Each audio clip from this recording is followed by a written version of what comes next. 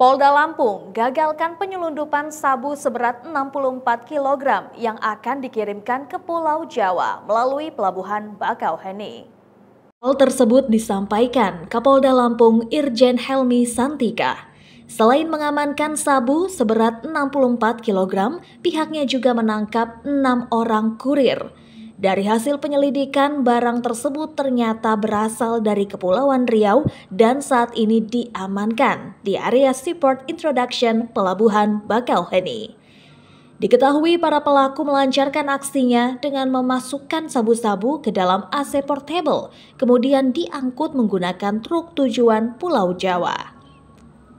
Kita berhasil melakukan penyitaan sejumlah barang bukti jadi satu total 64 kg sabu, kemudian eh, 6, 6 orang tersangka juga sudah kita lakukan penangkapan saat ini dari enam tersebut akan kita lakukan pengembangan.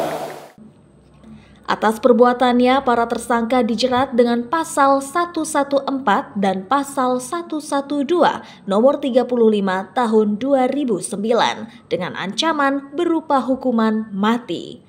Dari Bandar Lampung, Andi Apriyadi, Metro TV Lampung.